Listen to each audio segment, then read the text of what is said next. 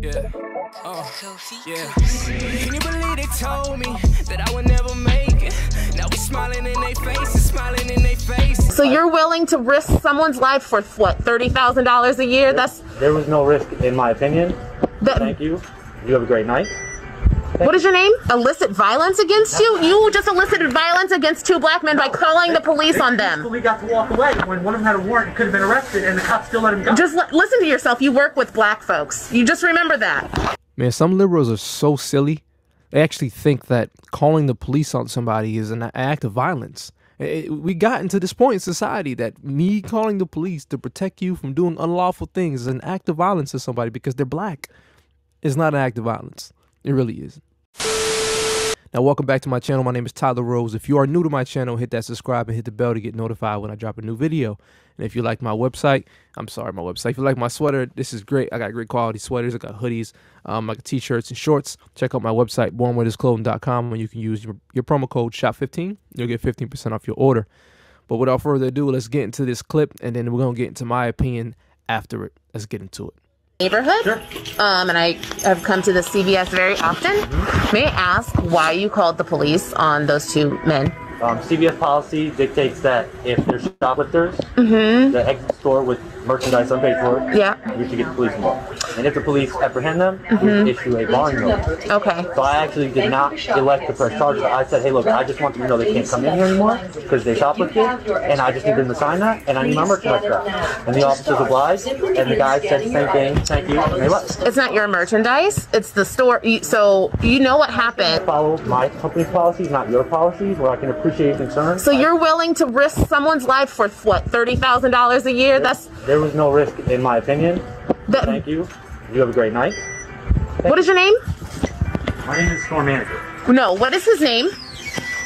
No one's gonna tell you my name when you're sitting here videotaping us so that you can try and elicit some sort of violence against me. It's not gonna happen. Illicit violence Oh. against you? You just elicited violence against two black men by calling the police on them. We What is wrong with people?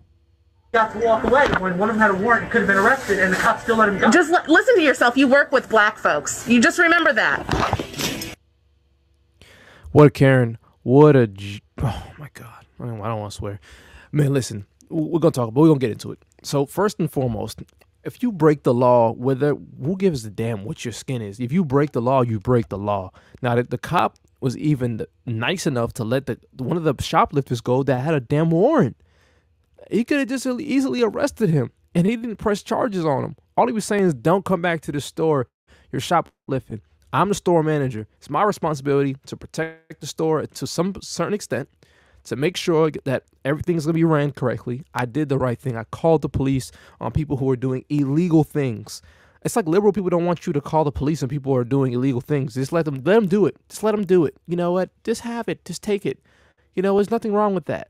Like we gotta get this this whole thing out of this out of the way, bro.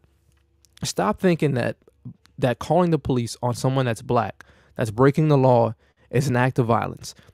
Listen, if you break the law and you know you've broken the law and you comply, everything will be just fine. Now, if you break the law and and you're acting violent, things can happen, and that's just reality. And that's not just because you're black. That's because you're doing an act. You're creating an act of violence by you know being hesitant to actually comply, which could which could be an act of violence in some states, not all the time. When I said act of violence, I mean it may, not all the time, but it doesn't mean that you're gonna die, and it doesn't mean that someone's doing the wrong thing.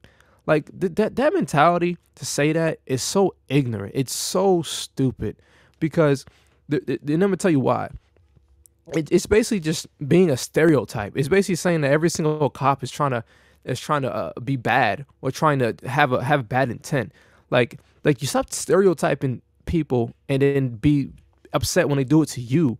Like the whole situation actually went smooth. Like from what the, the manager said, he's like, call the police, they signed a paper, they're not coming back to the store, they will no longer be allowed here. He had a warrant, he got let go. The cop was nice enough to let the guy go. The cop was nice enough not to the, the store manager was nice enough not to press charges. And here comes Karen talking about, oh, it's a, you work with black people and you're gonna call the police on black people. I'm gonna call. Listen, I'm I'm black. I'm gonna call the police on a black person that's doing the wrong thing too, and messing up my community, doing something wrong that's going on. I'm gonna call the police on them too. You know, like it, it is what it is. Like you know, I, am gonna call the police if I need to call the police. My car got broken into uh, last year. I called the police because someone tried to steal my car. They tried to steal. I had a, I had a Scat Pack Charger, man. They wanted to steal my car. I called the police. Why? Because somebody tried to do something illegal to my car. Maybe they would define who did it and they can pay for it. Because now I got to fix my car. I got to go to the shop. I go get a program a new key. I got to fix my window. I got to retint my window. I got to do all this stuff because somebody else broke my stuff illegally, taking what I work hard for. Like, there's nothing wrong with calling the cops on somebody who is of color, somebody who's any color, because you know why? What you do, that's wrong. You deserve the consequences for it. No one is is is gonna be held differently. Everyone's gonna be held accountable. That's it. These people that these liberal people be thinking that somehow you're a charity case and you you you you get treated differently so much. Like I've had I've always had I would say civil conversations when I've been pulled over, when I've had conversations with police officers. You know why? It's because I treat them with respect. I treat them with, with I'm treat them like a human. I'm not wise because I want want someone to be wise to me. You know, I don't sit there and give them an attitude. They're doing their job. If I'm speeding, I broke the law. So I'm gonna say, "How you doing today, officer?" Uh, good, good, good. Yes, is there a problem today? Yes, sir. I, I can I use license registration? Yes, you can. Go grab it right now. Here you go. Come back. Hey, we got you speeding. Really? You know, I didn't really think I was speeding. You know, sometimes he can get you off ticket. I'm sorry for speeding, but I didn't realize I was going over the speed limit, officer. I'm having a conversation with the guy. He's doing his job. So if long as I have a conversation respectable, he's doing his job, ain't nothing's gonna happen. Now here's what here's what makes things escalate. When you know you did something illegal, you're trying to run away, you're trying to grab something, and then it's a state of of, of like fright. There's, there's, there's, you don't know what's going on. As a person of the law that's trying to de-escalate situation, you're raising concern what's going to happen next. Now, that's usually when situations get risky. But if you respect what's going on, if you have a conversation, if you just civil with it, there's going to be plenty plenty of opportunity for things to like even what just happened in this video, which is the perfect example.